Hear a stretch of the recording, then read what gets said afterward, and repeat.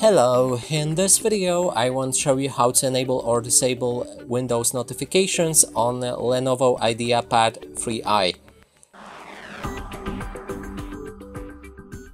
And to do this, first we'll need to click on the start, move to the settings, right here select system, then go for the notifications then there's notifications that you can activate or deactivate. You can also click on this arrow and uh, then allow notification to play sounds, show notifications on a lock screen, show reminders and incoming VoIP calls on the lock screen and also you can manage uh, the notifications for certain apps if you scroll down. So enable or disable notifications, for example, for Xbox. And that's it for this video, hope you like it, please consider subscribing to our channel, leave like and a comment below.